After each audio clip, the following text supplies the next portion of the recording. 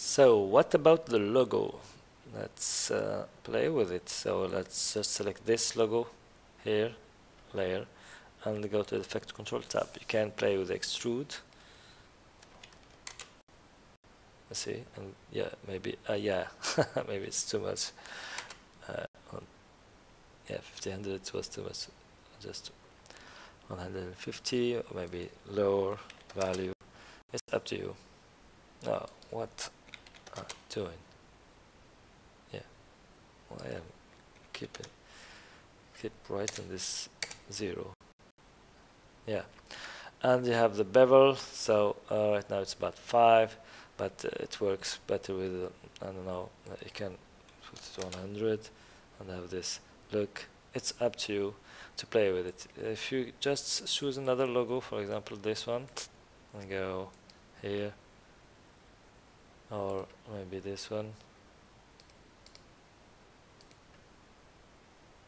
See that we have a good look with the bevel, but if you keep it bevel at 5, mm, you can play with it uh, as you wish. Let's play with this logo for example. Here for example, high bevel value don't give it uh, a good look, so it's up to you to play with the bevel and you have the anterior lines. So what's this is? Right now you have only uh, like plain um, logos. So if you have a logo that have some shapes inside uh, and you can you want to see these like having a little bit of bevel so uh, this is the value. So if I keep it to zero no effect in uh, the small uh, shapes but if I give it a higher value like 300 and you begin to see a little bit of um, bump effect. So you can play also with the position uh, left right or up down. And you can play with the ambient light so let's go, to go back to um, to this title this one for example.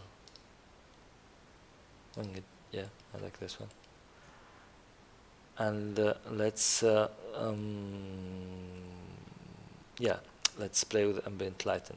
So before that let me uh, get back to more one of these presets apply animation presets.